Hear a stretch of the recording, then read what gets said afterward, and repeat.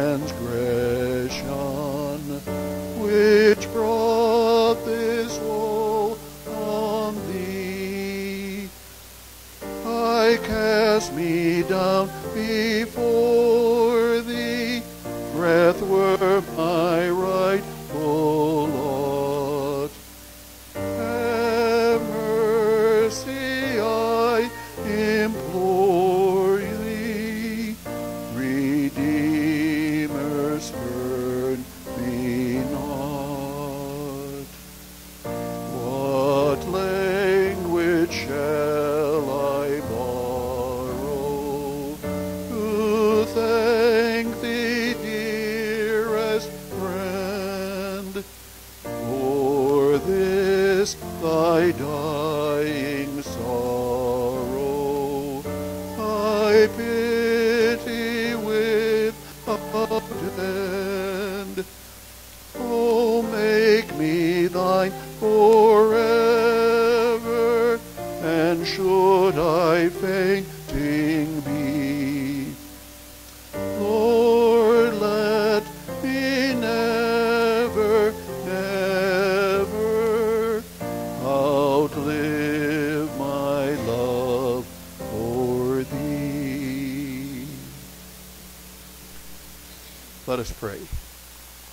Lord Jesus, you carried our sins in your own body on the tree so that we might have life. May we and all who remember this day find new life in you now and in the world to come, where you live and reign with the Father and the Holy Spirit, now and forever.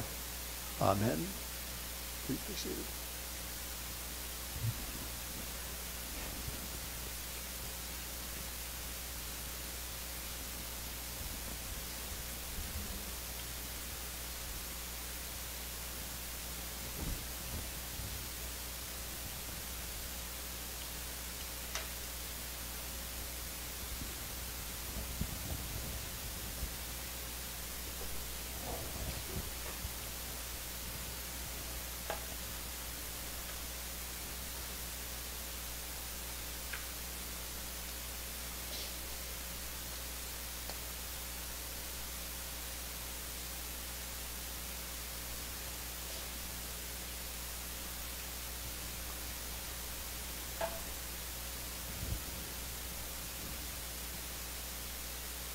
Good Friday comes upon us every year as a kind of bad habit we'd really like to quit.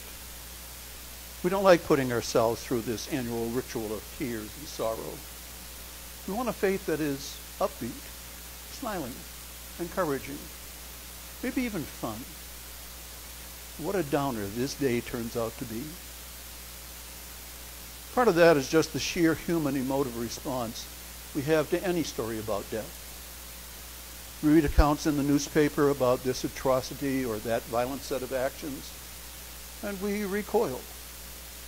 How can people do such things to each other? We wonder in our hearts.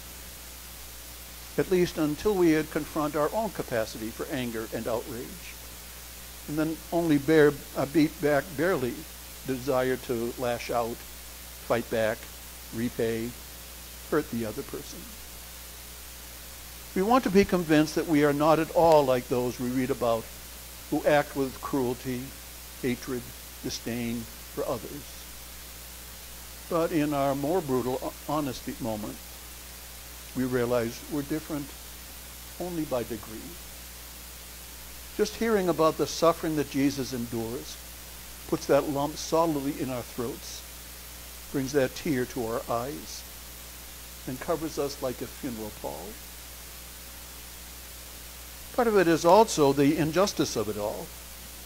It's bad enough to think about someone going through such torment and grief because of the guilt of their own actions. But we are today aware that we're hearing about a man who is innocent, who just about everybody in the story knows is innocent, but who nonetheless is subjected to false accusations, beatings, insults, and finally one of the most cruel forms of capital punishment ever devised. Our sense of justice is upset at that treatment. We want someone to blame. The Pharisees, Pilate, Judas, the crowd, the disciples. Of course, the last thing we want to do in this mood is to look in the mirror. Part of it is the feelings of guilt this day lays on us. We sing those words from the familiar hymn. Yet, O Lord, not this alone make me see your passion, but its cause to me make known, and its termination. For I also in my sin wrought your deep affliction. This the shameful cause has been of your crucifixion. We don't like that part. Being told that this death is our responsibility. We want to deny it. We want to proclaim our innocence. But we would just as soon not have anybody go too deeply into details because in the back of our minds and in our heart of hearts, we know this accusation is true. All the more reason not to like Good Friday. It not only makes us feel guilty, it reminds us that we truly are guilty. So we would just like to skip past Good Friday, thank you. We've already heard the sad story on Palm, uh, excuse me, Passion Sunday. Do we really need to dwell on, on it more? Can't we just celebrate that triumphant entry, then have a nice supper in the upper room, and then just go gather at the empty tomb? We could. But should we? No. The thing about Good Friday is that you just can't avoid it. First of all, it happened. Ignoring what happened is hardly ever a good idea. If there was success and victory, we need to know how that happened in case we need to come back to it. If there was failure and setback, we need to know so that we don't repeat the problem and make the same mistakes. Simply sweeping something under the carpet of history provides nothing good. What we need to determine about Good Friday is which was it? Mistake or success? Victory or failure? The tone tonight would suggest Good Friday is both a mistake and a failure. All the good folks in the story are in tears and shock. All the rotten actors are acting as if they won, or at least as, they, as if they solved their problem. But that's what comes of trying to ignore what happened. We wind up thinking that what happened was one thing, and it turns out to be just the opposite. Good Friday is often represented for, as the failure that Easter then corrects. No. Good Friday is the victory. The tenth stanza of O Sacred Head Now Wounded reads, Be thou my consolation, my shield when I must die. Remind me of your passion when my last hour draws nigh. My eyes shall then behold you. Upon your cross shall dwell my heart by faith enfolds you. Who dies thus, dies well. It is Jesus' death that we look to as the anchor for faith. It is Jesus' death that is the victory. This is that curious thing that God so regularly does with his creation. God uses what appears to be weakness to display his power. God enters into failure, and it becomes victory. God calls the least likely candidate to do his bidding, and then empowers that bad choice to do the very thing God desires. I mean, look at the record. Abraham, Moses, Aaron, Elijah, Elisha, Isaiah, Jeremiah, Hosea, Peter, Paul. I could go on. Every last one of these flawed were flawed beyond be use. They were used by God in ways they could not have imagined, and quite frankly, did not want to be used. There's an immediately apparent reason why God does things that way, so that we never wind up thinking it was our wonderfulness that got the task done. St. Paul said it this way. God chose what is foolish in the world to shame the wise. God chose what is, what is weak in the world to shame the strong. God chose what is low and despised in the world, things that are not, to reduce to nothing things that are, so that no one might boast in the presence of God. Throughout time, God has acted in apparent weakness to work his will. There was nothing more central to God's will than that his son take our place to suffer the death we deserve. It happened. And we rejoice that it happened. We likewise cannot avoid Good Friday so that we comprehend its importance. That kind of victory needs to be studied and restudied so we can make sense of it. It is, on the face of it, a conundrum. In order to live, one must die. That makes no sense. We would have it read, to live, you must live. Hold on to life at all costs. But that's not God's manner. God's manner is to invite us to let go. Realize that life is in God's hands always. We are invited to surrender ourselves into those hands, just as did Jesus. The importance of Good Friday is that Jesus did so surrender. And not just at the final moment, Father, into your hands I commend my spirit. Throughout his life, Jesus was surrendered to the Father's will. He told us, Very truly I tell you, the Son can do nothing on his own, but only what he sees the Father doing. For whatever the Father does, the Son does likewise. Good Friday teaches us that we cannot avoid it without being faithless to God, to his will and his purpose for our lives. Lastly, if we seek to avoid Good Friday, we miss the most startling aspect of the entire episode. Jesus told Martha just before he raised her brother Lazarus from the dead, I am the resurrection and the life. Look at the cross right now and say to yourself, there hangs the resurrection and the life. Try saying that uh, out loud.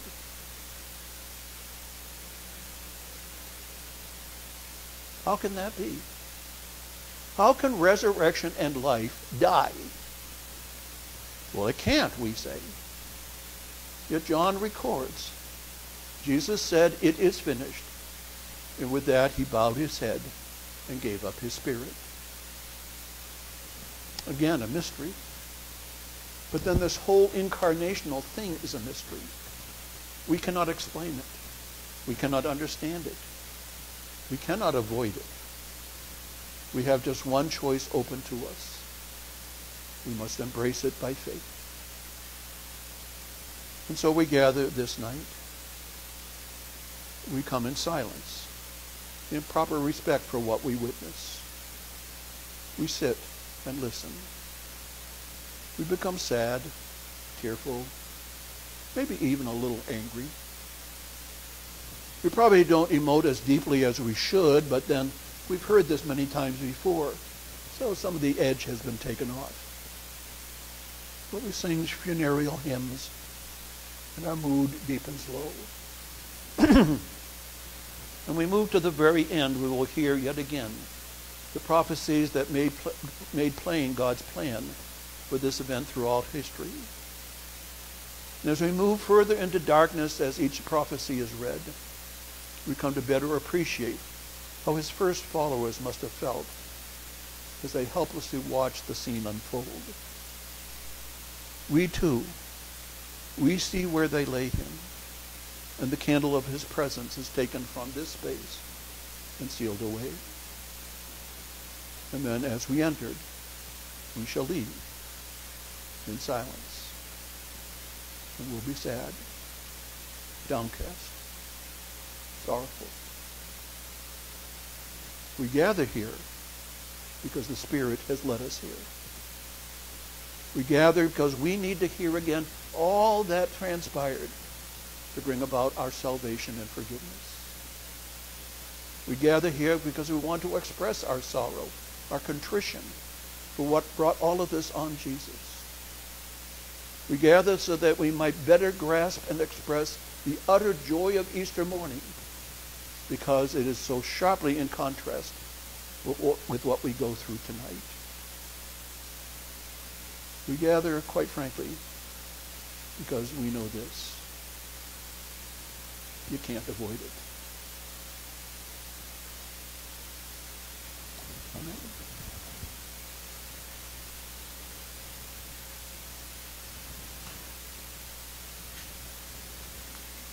We join in the hymn for the service.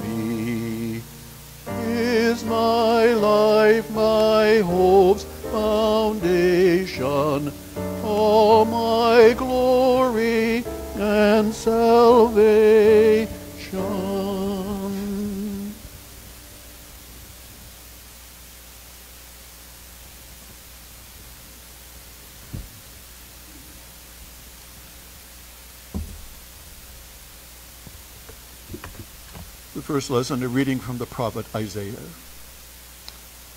See, my servant shall prosper. He shall be exalted and lifted up and shall be very high. Just as there were many who were astonished at him, so marred was his appearance beyond human semblance, and his form beyond that of mortals. So he shall startle many nations. Kings shall shut their mouths because of him. For that which had not been told, they shall see and that which they had not heard they shall contemplate. Who has believed what we have heard? And to whom has the arm of the Lord been revealed? For he grew up before him like a young plant, and like a root out of dry ground. He had no form or majesty that we should look at him, nothing in his appearance that we should desire him. He was despised and rejected by others, a man of suffering and acquainted with infirmity and as one from whom others hide their faces, he was despised, and we held him of no account. Surely he has borne our infirmities and carried our diseases. Yet we accounted him stricken, struck down by God, and afflicted. But he was wounded for our transgressions, crushed for our iniquities.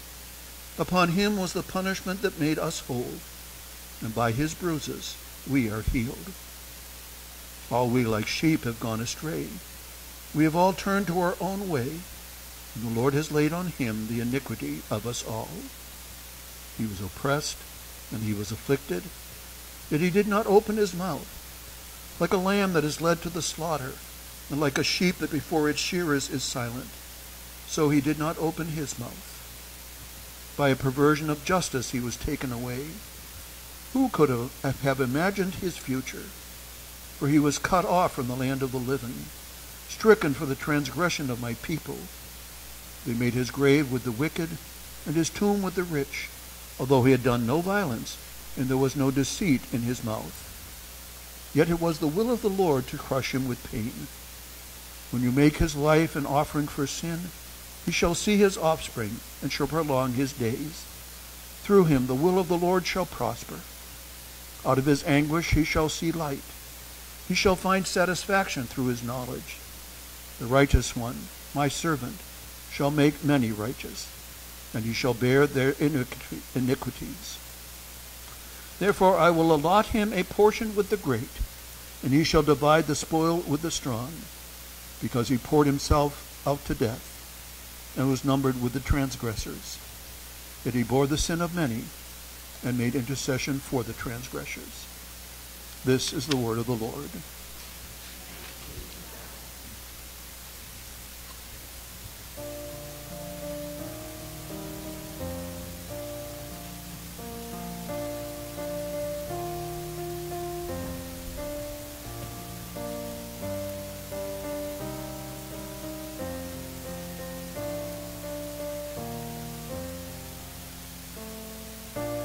Oh, don't forsake.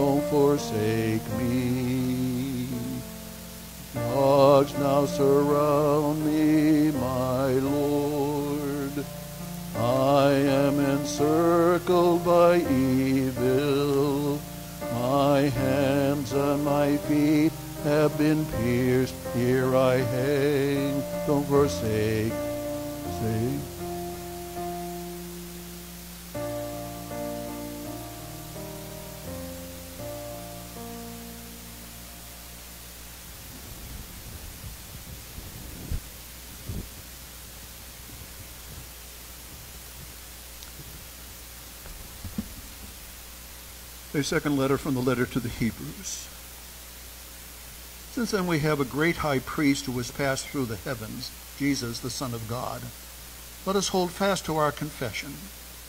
We do not have a high priest who is unable to sympathize with our weaknesses, but we have one who in every respect has been tested as we are, yet without sin. Let us therefore approach the throne of grace with boldness so that we may receive mercy and find grace to help in time of need. In the days of his flesh, Jesus offered up prayers and supplications with loud cries and tears to the one who was able to save him from death. And he was heard because of his reverent submission. Although he was a son, he learned obedience through what he suffered. And having been made perfect, he became the source of eternal salvation for all who obey him.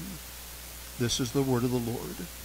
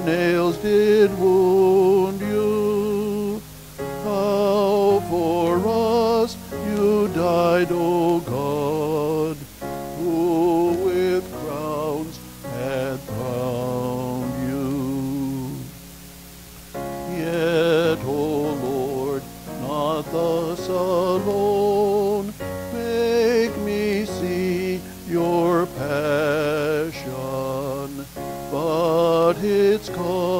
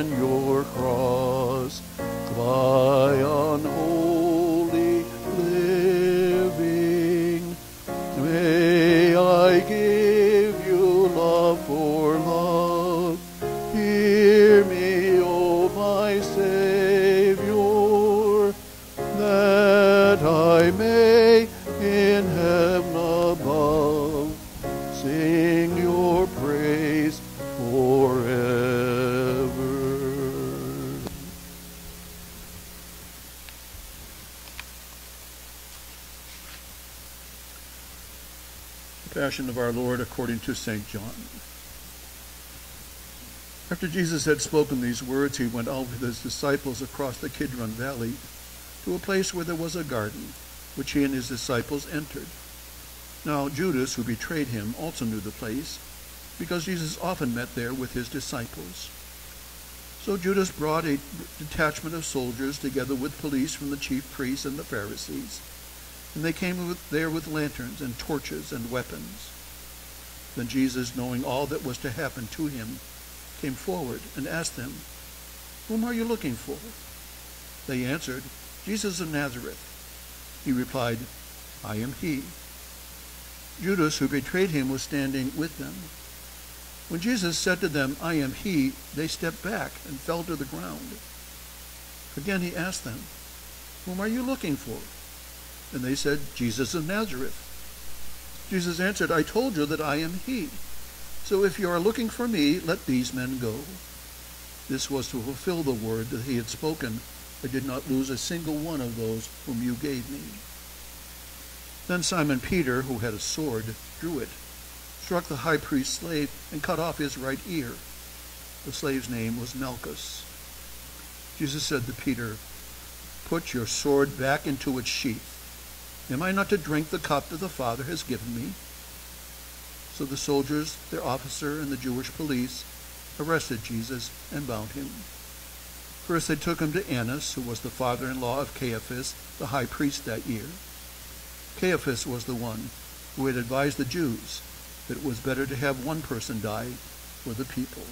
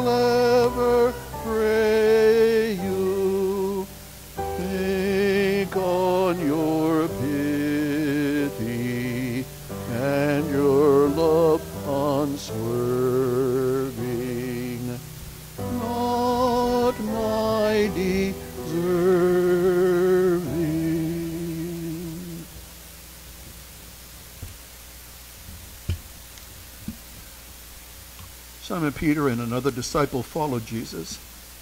Since the disciple was known to the high priest, he went with Jesus into the courtyard of the high priest. But Peter was standing outside at the gate. So the other disciple, who was known to the high priest, went out, spoke to the woman who guarded the gate, and brought Peter in. The woman said to Peter, You are not also one of this man's disciples, are you? He said, I am not. Now the slaves and the police had made a char- charcoal fire because it was cold, and they were standing around it and warming themselves. Peter also was standing with them and warming himself. Then the high priest questioned Jesus about his disciples and about his teaching. Jesus answered, I have spoken openly to the world. I've always taught in synagogues and in the temple where all the Jews come together. I have said nothing in secret. Why do you ask me? Ask those who heard what I said to them. They know what I said. When he had said this, one of the police standing nearby struck Jesus on the face, saying, Is that how you answer the high priest? Jesus answered, If I have spoken wrongfully, testify to the wrong. But if I have spoken rightly, why do you strike me? Then Annas sent him bound to the Caiaphas, the high priest. Now Simon Peter was standing and warming himself. They asked him, You are not also one of his disciples, are you? He denied it and said, I am not. One of the slaves of the high priest, a relative of the man whose ear Peter had cut off, asked, Did I not see you in the garden with him? Again Peter denied it, and at that moment the cock crowed.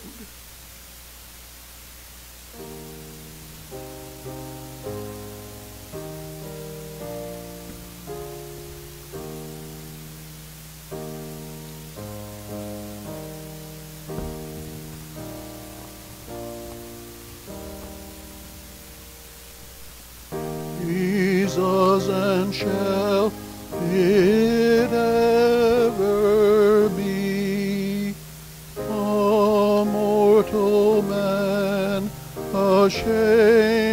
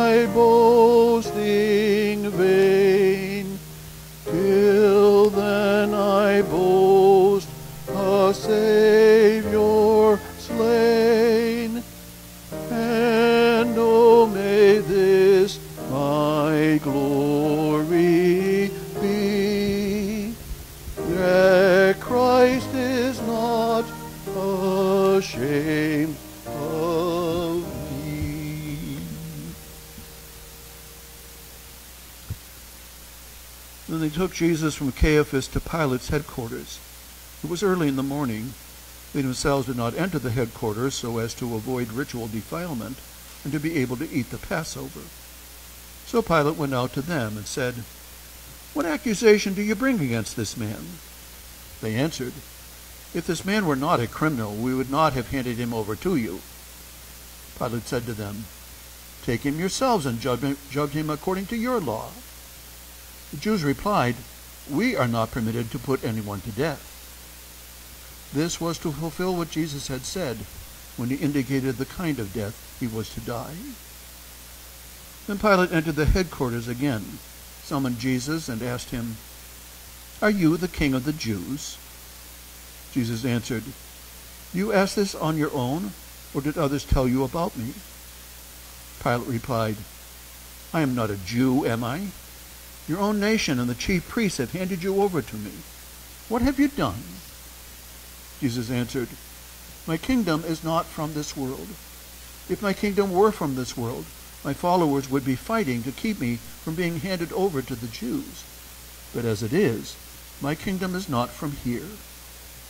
Pilate asked him, So you are a king? Jesus answered, You say that I am a king. For this I was born, and for this I came into the world, to testify to the truth.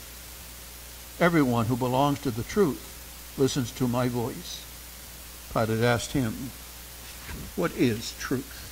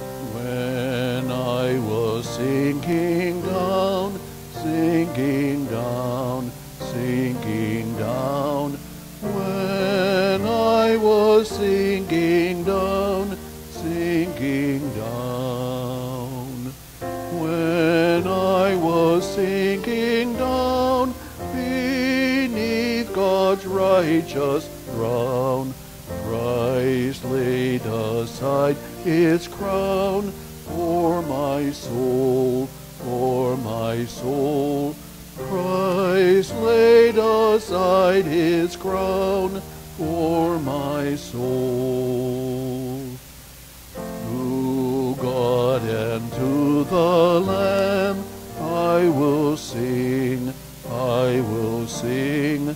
To God and to the Lamb I will sing. To God and to the Lamb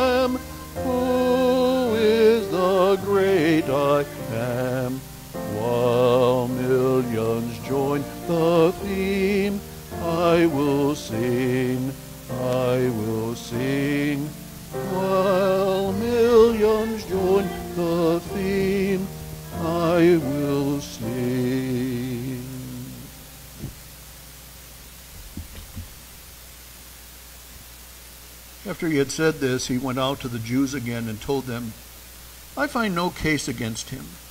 But you have a custom that I release someone for you at the Passover. Do you want me to release for you the king of the Jews? They shouted in reply, Not this man, but Barabbas. Now Barabbas was a bandit. Then Pilate took Jesus and had him flogged. And the soldiers wove a crown of thorns and put it on his head, and they dressed him in the purple robe. They kept coming up to him, saying, Hail, King of the Jews! and striking him on the face. Pilate went out again and said to him, Look, I am bringing him out to you to let you know that I find no case against him. So Jesus came out, wearing the crown of thorns and the purple robe. Pilate said to them, Here is the man. When the chief priests and the police saw him, they, they shouted, Crucify him! Crucify him! Pilate said to them, Take him yourselves and crucify him. I find no case against him. The Jews answered him, We have a law, and according to that law he ought to die because he claimed to be the Son of God. Now when Pilate heard this, he was more afraid than ever. He entered his headquarters again and asked Jesus, Where are you from? But, Pilate, but Jesus gave him no answer. Pilate therefore said to him, Do you refuse to speak to me? Do you not know that I have power to release you and power to crucify you? Jesus answered him, You would have no power over me unless it had been given you from above. Therefore the one who handed me over to you is guilty of a greater sin. From then on, Pilate tried to release him. But the, but the Jews cried out, If you release this man, you are no friend of the emperor. Everyone who claims to be a king sets himself against the emperor. When Pilate heard these words, he brought Jesus outside and sat on the judge's bench at a place called the stone pavement, or in Hebrew, Gabbatha. Now it was the day of preparation for the Passover, and it was about noon he said to the Jews, Here is your king. They cried out, Away with him, away with him, crucify him. Pilate asked them, Shall I crucify your king? The chief priests answered, We have no king but the emperor. Then he handed him over to them to be crucified.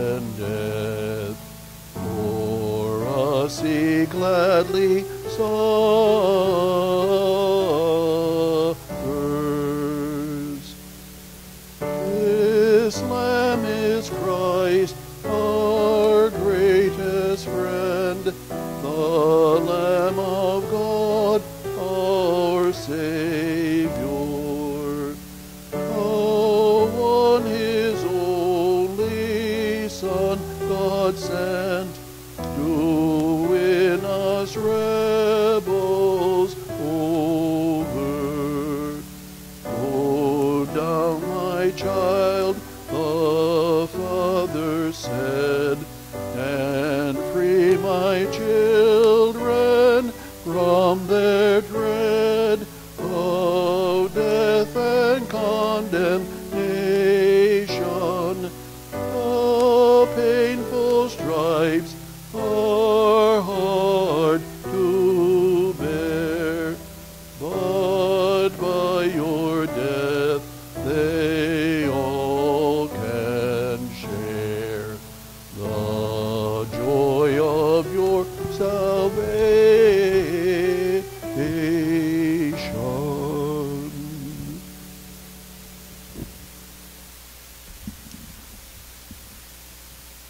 took Jesus, and carrying the cross by himself, he went out to what is called the place of the skull, which in Hebrew is called Golgotha.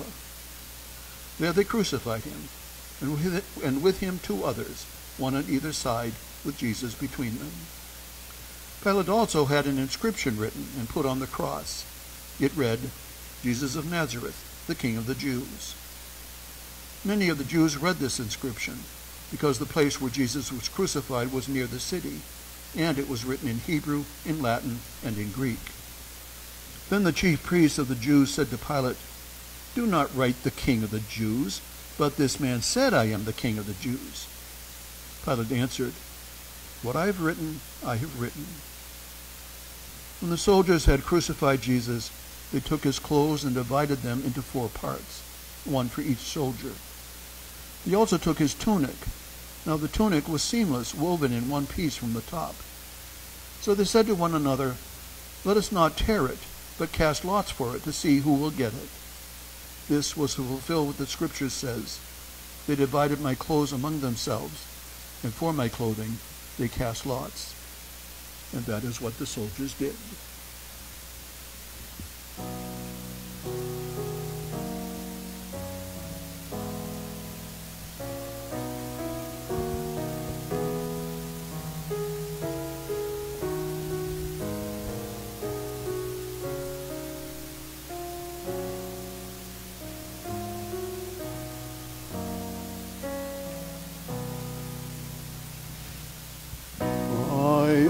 Song is love unknown, my Savior's love to me, love to the loveless shown that they might lovely be.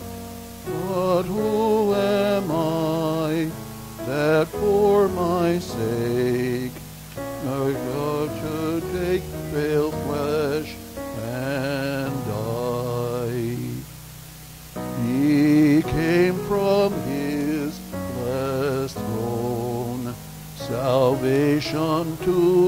bestow.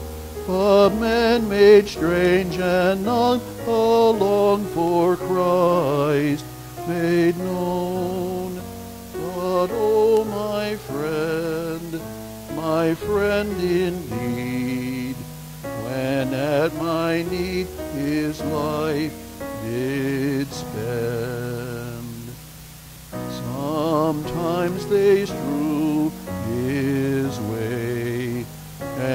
his sweet praises sing, resounding all the day hosannas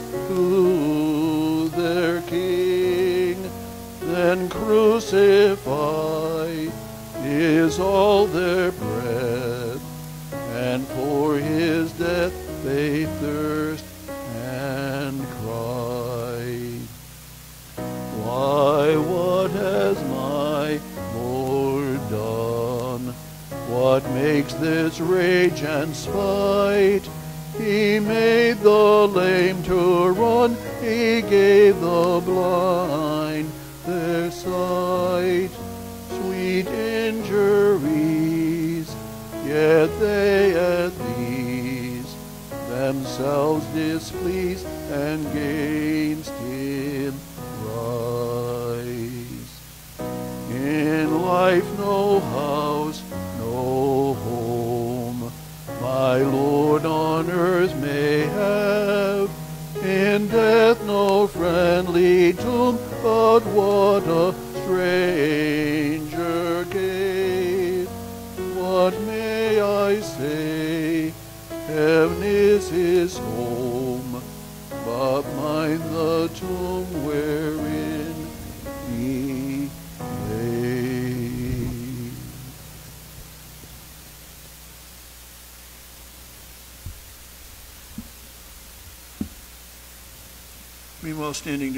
of Jesus were his mother and his mother's sister, Mary the wife of Clopas, and Mary Magdalene.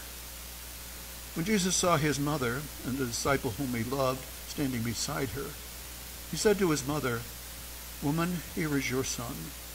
Then he said to the disciple, Here is your mother. And from that hour the disciple took her into his own home. After this, when Jesus knew that all was now finished, he said, in order to fulfill the scripture, I am thirsty. A jar of sour wine was standing there. So they put a sponge full of the wine on a branch of hyssop and held it to his mouth. When Jesus had received the wine, he said, It is finished. then he bowed his head and gave up his spirit.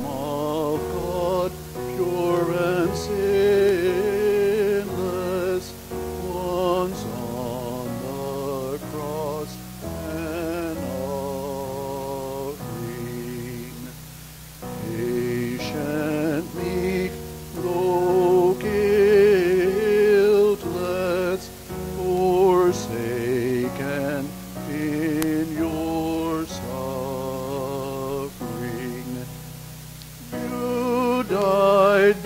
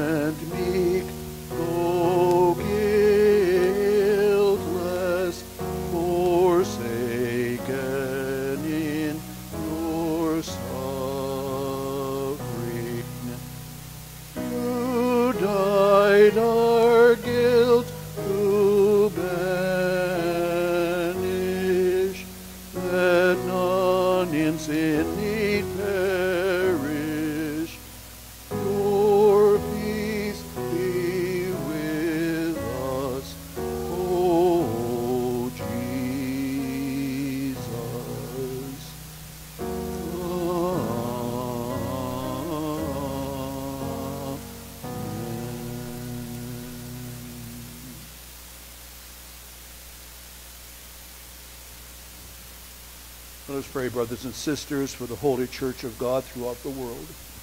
The God, the Almighty Father, guide it and gather it together so that we may worship him in peace and tranquility.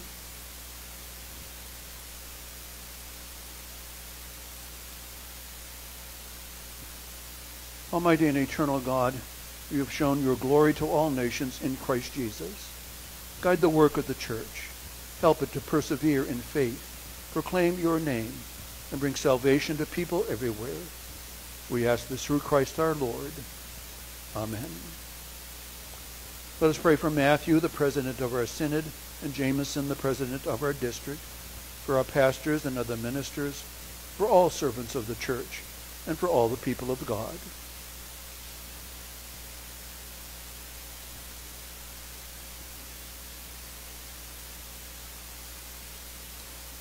Almighty and eternal God, your Spirit guides the church and makes it holy.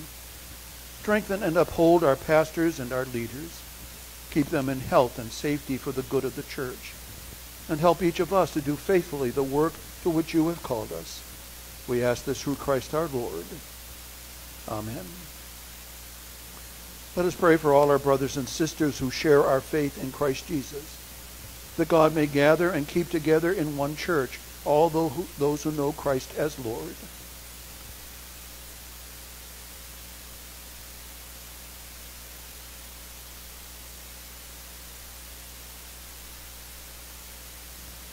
Almighty and eternal God, you give your church its unity.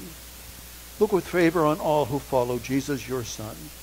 We are all consecrated to you by our baptism. Make us one in the fullness of faith, and keep us one in the fellowship of love. We ask this through Christ our Lord. Amen.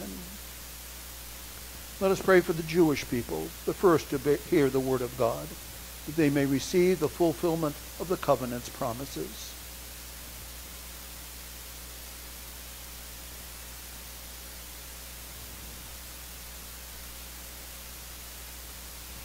Almighty and eternal God, long ago you gave your promise to Abraham and his posterity.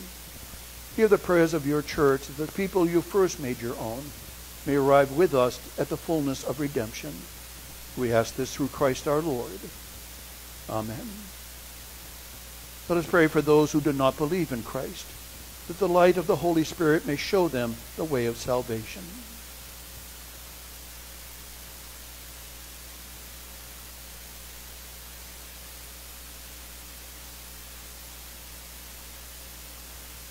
Almighty and eternal God, enable those who do not acknowledge Christ to receive the truth of the gospel. Help us, your people, to grow in love for one another, to grasp more fully the mystery of your Godhead, and so to become more perfect witnesses of your love in the sight of all people. We ask this through Christ our Lord. Let us pray for those who do not believe in God that they may find him who is the author and goal of our existence.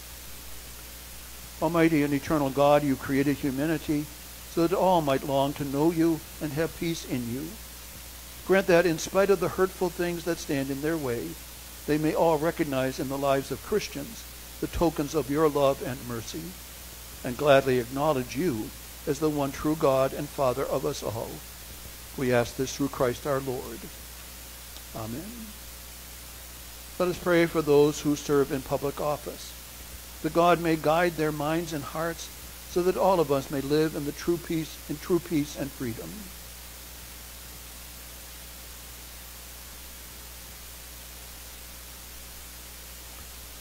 Almighty and eternal God, you are the champion of the poor and the oppressed.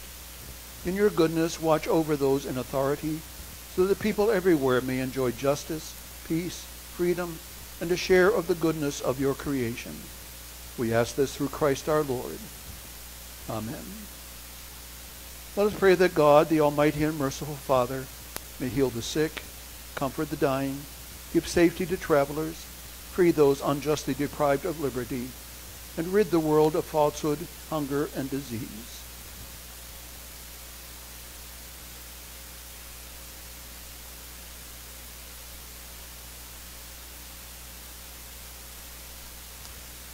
Almighty and eternal God, you give strength to the weary and new courage to those who have lost heart. Hear the prayers of all who call on you in any trouble, that they may have the joy of receiving your help in their need. We ask this through Christ our Lord. Amen. Finally, let us pray for all those things for which our Lord would have us ask. Our Father, who art in heaven, hallowed be thy name.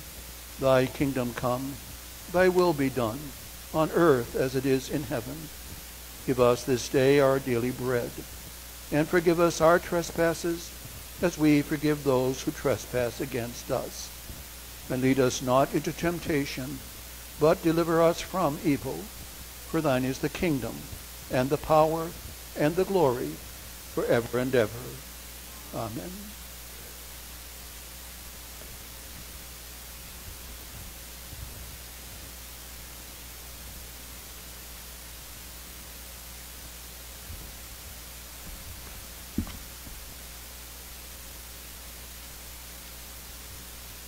Since it was the day of preparations, the Jews did not want the bodies left on the cross during the Sabbath, especially because that Sabbath was a day of great solemnity. So they asked Pilate to have the legs of the crucified men broken and the bodies removed. Then the soldiers came and broke the legs of the first and of the other who had been crucified with him. But when they came to Jesus and saw that he was already dead, they did not break his legs. Indeed, one of the soldiers pierced his side with a spear, and at once blood and water came out. He who saw this has testified so that you may also may believe. His testimony is true, and he knows that he tells the truth. These things occurred so that the scripture might be fulfilled. None of his bones shall be broken. And again, another passage of scripture says, They will look on the one whom they have pierced. After these things, Joseph, Joseph of Arimathea, was a disciple of Jesus, though a secret one because of his fear of the Jews, asked Pilate to let him take away the body of Jesus. Pilate gave him permission. So he came and removed his body. Nicodemus, who had first come to Jesus by night, also came, bringing a mixture of myrrh and aloes weighing about a hundred pounds. They took the body of Jesus and wrapped it with spices in linen cloths, according to the burial custom of the Jews. Now there was a garden in the place where he was crucified, and in the garden there was a new tomb in which no one had ever been laid. And so, because it was the Jewish day of preparation, and the tomb was new nearby, they laid Jesus there.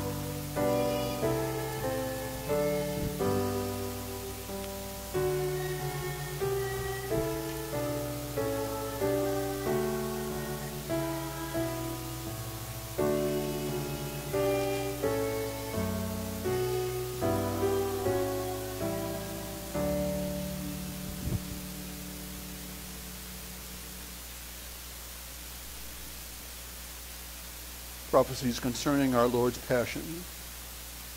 His betrayal by Judas. Even my bosom friend in whom I trusted, who ate of my bread, has lifted the heel against me. Psalm 41, verse 9. The price of blood. So they weighed out as my wages thirty shekels of silver. Then the Lord said to me, Throw it into the treasury, this lordly price at which I was valued by them. So I took the thirty shekels of silver and threw them into the treasury in the house of the Lord. Zechariah 11, verses 12 and 13. He was accused by false witnesses. Malicious witnesses rise up. They ask me about things I do not know. They repay me evil for good. My soul is forlorn. Psalm 35, verses 11 and 12.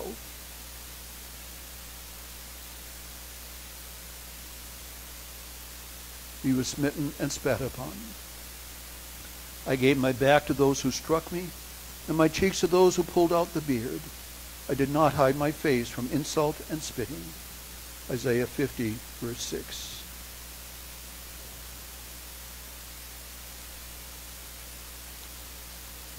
He was hated without cause. More in number than the hairs of my head are those who hate me without cause. Many are those who would destroy me, my enemies, who accuse me falsely. Psalm 69, verse 4.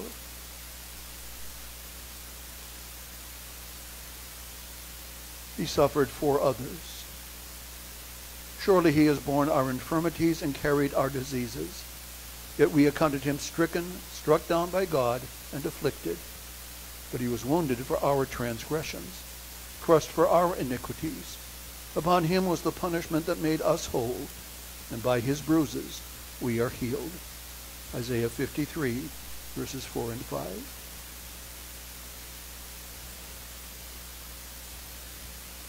His hands and feet are pierced.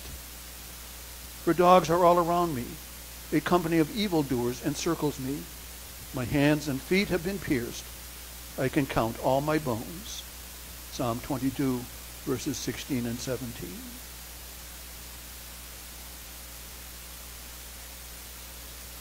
He was mocked and insulted. All who see me mock at me. They make mouths at me. They shake their heads. Commit your cause to the Lord. Let him deliver. Let him rescue the one in whom he delights. Psalm 22, verses 7 and 8.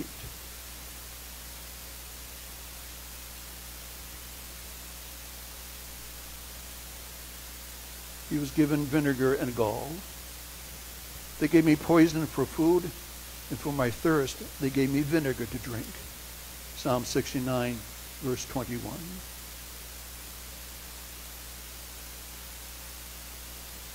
His garments were parted. They divided my clothes among themselves, and for my clothing they cast lots. Psalm 22, verse 18.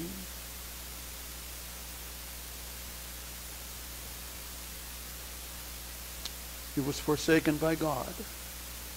My God, my God, why have you forsaken me? Why are you so far from helping me from the words of my groaning? Psalm 22, verse 1.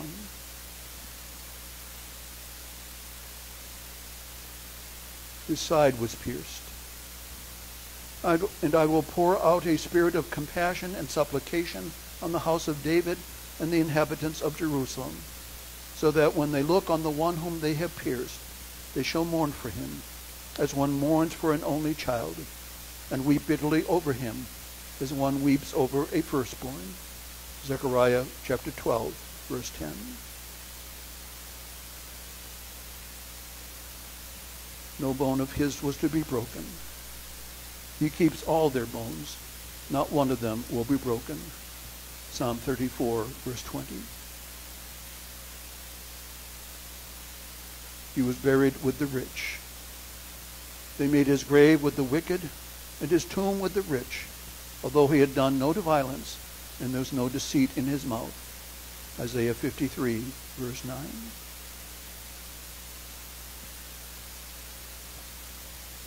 His rest in the grave. For you did not give me up to Sheol, or let your faithful one see the pit. Psalm 16, verse 10.